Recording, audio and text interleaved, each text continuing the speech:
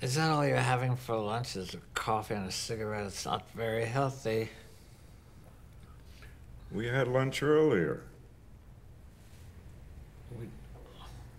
We did. We're on a, like a break here, a coffee break here. Oh, how depressing.